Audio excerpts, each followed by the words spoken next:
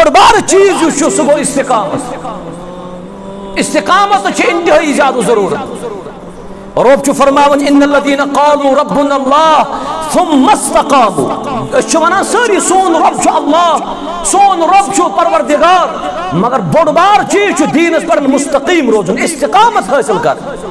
یہ استقامت کر حاصل حضرت بلال رضی اللہ تعالی بلال انک ستروک تچ سک پٹ بلال انک اس کو گسیٹا گیا۔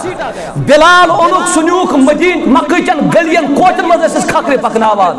مگر توچ دراو تم سن زئی مزن احد احد بدل کیا دتنس رب کائنات۔ یہ بلال یہ بلال سز ذات رضی اللہ تعالی عنہ کہ زمین اس پر اس پن قدم پکناوان، مگر جنت اس مز تہند قدم آواز بوزا۔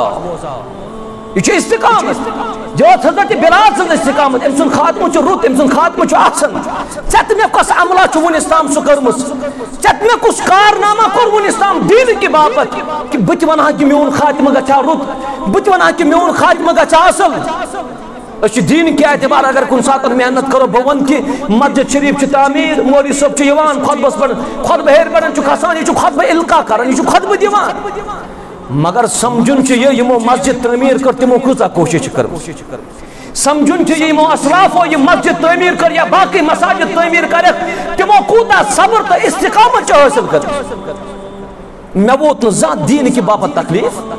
میں چھ اللہ تعالی نعم سے یاکن سوزمت بچس یوان تے آرام سان، نیران تے آرام سان، میں چھ دین اس چیز قدرہ فکرہ کے اگر میں اکساتن دین کی باپت محنت پہ آ کریں میں یہ دین چھ قدر۔ بہن کہ میون خاتمہ گا رت یہ انسان دپان مز تیل لگان، یل انسان پن خرچائے یل انسان لکھن یوتن دو چھنا کھوان تک پتہ دپان تس میں مہندی پہ ات کیا پرواہ چھو ات معاملس وتن انسان پان محنت ضرورت۔